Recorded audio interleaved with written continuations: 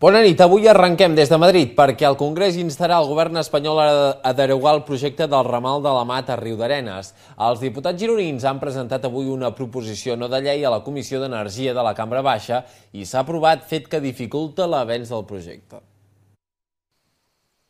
Nova victòria per a la plataforma No a la Mat en el procés de la paralització del ramal de la Mat entre Santa Coloma de Farners i Riu d'Arenes. I és que avui la Comissió d'Indústria, Energia i Turisme del Congrés dels Diputats ha aprovat una proposició no de llei que insta el govern espanyol a paralitzar el projecte del ramal de forma immediata. A banda d'aquesta paralització, la proposició no de llei insta el govern espanyol a estudiar alternatives d'aquest ramal que siguin més sostenibles ambientalment. La plataforma assegura que aquest és el pas definitiu per enterrar d'una vegada per totes el projecte de la línia de molt alta tensió que ha de creuar la selva. De fet, el seu portaveu creu que no seria legítim que el govern espanyol desobeís un text aprovat en la Comissió d'Energia i, a més, recorden que és el Congrés dels Diputats l'òrgan plenament competent per decidir sobre el projecte. Aquesta proposició no de llei ha arribat al Congrés de la mà de tots els diputats gironins.